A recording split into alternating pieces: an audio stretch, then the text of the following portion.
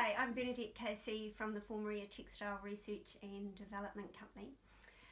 We love fashion, but sometimes it's confusing and difficult to navigate if you're interested mm. in ethical and sustainable clothing. So we decided to come out and speak to our friends in fashion and sustainability and see what they think and how they navigate it and get inside some people's closets. And today we're in Laurie Foon's closet. we're actually in her bedroom.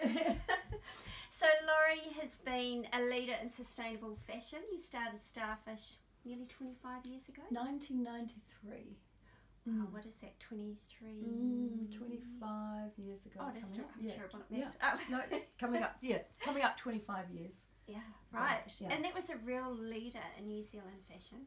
Mm, it was at the time, and um, when I came back from my OE, I knew that I wanted to start a business, but the body shop model, Anita Roddick, had had a major impact on what what was inspiring to me. So in a way, we were modelling our business even from the get go on on the body shop model. Right. Mm. Oh, interesting. Mm. Um, and from there, you've evolved. You're now the face of um, Sustainable Business Network. In Wellington, yes, yeah. yes. I've been the uh, manager for three years on now, and I can say it's a really exciting place to be at the coalface of seeing what businesses are doing to to make have a major positive impact on our, you know, on their businesses, but on the people and the planet as well. Yeah, and you're taking that another step mm. into into local politics. And what what was the catalyst for that? Well, I have put my hand up. The uh, seat for councillor has become free here in the Southern Ward where, where we live, and it felt like the right time for me. But yes, I did wake up in 2017 saying I wanted to have more impact. And what I see in Wellington is there are so many great things hap- happening, and I guess what I want to do is, is help make more good things happen or help those that are making good things happen to really uh, yeah get some traction on, on those things. Brilliant. Mm. I'm so disappointed I'm not ward. I can't vote you. It's all right. so from politics to fashion. Mm. Um, one, what are you wearing? Um, Today it's it's a merry mix up, but I this is an old starfish blouse. Uh, made out of silk and was printed by a local textile designer Greta Menzies, who's one of my favourites. Um, I have a leather skirt on from Empire of Genius, which I bought secondhand at Ziggurat. Um, that has this has been an amazing, almost like a uniform for me because I ride my bike, so it's actually really practical. It's like a little Oh, is that why you favour the A yeah, A-line skirts? Yeah, ah, that's okay, because yeah. I can get yeah. So pretty much now, if I can't wear it on the bike, it's out. I'm not interested. Yeah. And then my lo- lovely docs were a friends, and she wanted to give them to my daughter, and I said I doubt it. but she did make me pay for them. Thanks, Mary. but yeah. Very good. I'm looking over your shoulder into your wardrobe mm. and the amazing colours. You've thank, thank you. I create. I uh, put some styling, uh, put some color ordering, and especially for you. But actually, I must say it's more by category, and then I range it from light to dark. So um, shirts, light to dark, dresses, light to dark, skirts and trousers, light to dark. Right. Mm, that really helps my sanity. I, I love having the wardrobe in order so that I can get in really easily and, and choose because actually I don't have a lot of time. So speed is a major thing for me. Right, yeah. I do like you like you, I have dresses, skirts, shirts, etc. etc. Mm. But I don't do the colour thing. Oh, the yeah, colour yeah. the colour thing's fun. So sometimes for me on a Sunday or a Saturday night, I will have a glass of wine and come into my wardrobe and order it. Oh, that's do that's a happy place. Oh, oh yeah. nice. Yeah. So in your wardrobe, what's what's one of your favourite pieces at the moment? Um, well, something and and for me, my drivers are really different now, and that is really around being able to cycle to work easily. But also, I in my job, I'm meeting a lot of people quite frequently. Mm. So my favourites have become the shirt and actually, I wondered post Starfish what Laurie would, would move towards style wise. But Yeah. yeah. I'm just I'm just loving the good old shirt. And so two of my fave purchases recently. Um, I must say that that's something I'm really working on. Is I, I do love the the wonderful array, and there's been a real jump in the amount of them. But the recycled boutiques that we have, yeah.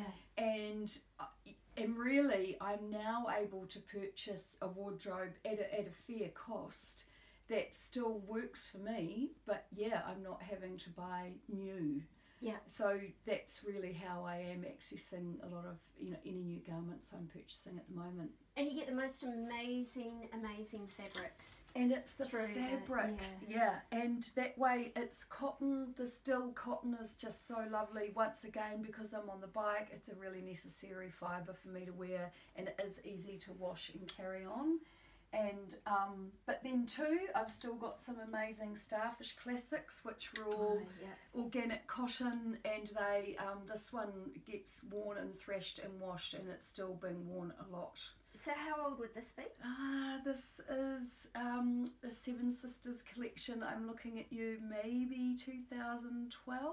Right. So that's five years old ish and is worn It's still really summer, good nick, isn't summer, Yeah. winter, and Yeah. machine washed Right. regularly. Yeah. Yeah. Um, dresses are another fave. So once again, because of the bike, so this is an old starfish number. It's an organic cotton, um, but obviously with the the wide skirt kick, so that I can just throw myself onto the bike. Um, all of these prints were designed by our stylist at the time, Barry Beetham, in conjunction with Greta Menzies Yeah. again, so we were working with Greta quite a lot. And this is another fave that I do actually give. A, so a lot of these dresses have had a lot of wear, and actually they're quite simple. But for me, it's also about another way that I get a bit of kick is by a fun accessory. So sometimes I will spend a little bit on a on a favorite necklace or something because that way you can just keep your faves going, but with a bit of a, a new splash. I've got a um a starfish dress in a very similar colour to that, and it's really sort of 1920s with big pleats down the bottom Mm. with a tie on it. Ah, yes, yes. And I love it because it doesn't matter what your weight is. It Yep. fits you and accommodates you. You know, you, your weight can fluctuate, and it's I think that was called the lily gown, if I remember rightly, but that's going back into the head a little bit. But yes, Yeah. that was a very successful design, that one, in Yeah, terms of the yeah the wearability, and yet it had that amount, that drama, that kind of slight avant-garde drama about it as well. yeah, Yeah. yeah. So yes, um, organic cotton and the same. This has been going, yeah, uh, for about five years, and this gets really caned. So I think the interesting thing, even for me, there is that when we we made our clothes with intent, and they really have lasted. I don't know if that was any good for our business, but Right. you know. but the frocks are still going, and and I'm really thankful because I I need them to Yeah. and be easy to wash, easy to wear, work in a multi environment. So basically, from bike to to boot, you know, to an event. Yeah. That's my life now, and um, they're actually doing that, and that was the intent of the design process that we went brilliant, about. Yeah.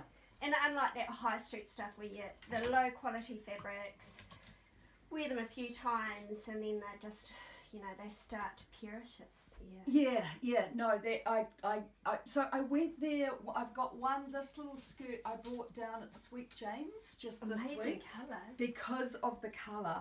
And Sweet Jane's is um, a gorgeous little um, vintage op shop in Newtown. And I love her because she so genuinely loves her clothes. And, and I think she bought this one back from the States. And I saw it and I was like, I can just see me on my bike in that skirt with a need lovely any, you don't tan reflector. No, like, you just and it's- it's dual purposing and the safety, you know, it was like people surely can't miss me. But interestingly enough, so I love the cart.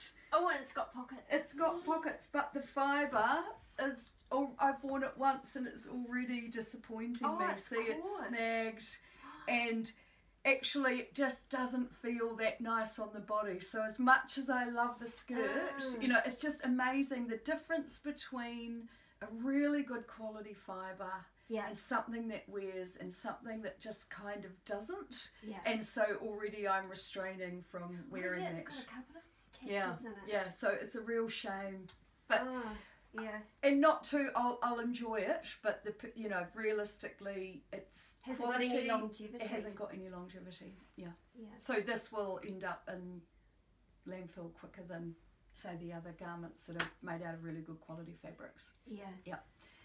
Um, but fabrics are hard for people to negotiate to um, navigate, and that was some work that we were trying to put in around education and really making sure that people were aware of what the fabrics were on the outside of the garment. So in our swing tags, I don't think I've got one left even, but you could look at a starfish garment before you knew the price, you actually knew what the fibre was. Right. And so the purpose around that was to, to get people to, to feel it.